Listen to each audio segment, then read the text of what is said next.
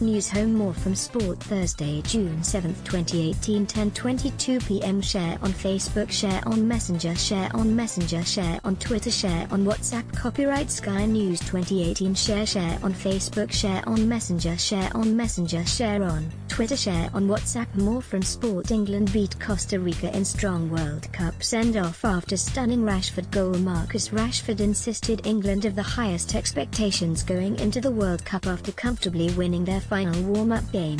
England boss Gareth Southgate facing serious decisions ahead of World Cup opener Gareth Southgate admits he faces some serious decisions after a much-changed England beat Costa Rica 2-0 in their final match before heading to the World Cup. Washington Capitals beat Vegas Golden Knights to win Stanley Cup. The Washington Capitals are Stanley Cup champions for the first time in their 44-year history after a 4-3 win in Las Vegas sealed a 4-1 series success over